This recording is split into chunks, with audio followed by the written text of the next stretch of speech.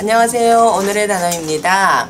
일본말로 만멘노 에미오 우카베루라고 하는 말을 한국말로는 한박 웃음을 짓다 또는 활짝 웃다 라고 합니다. 이상입니다.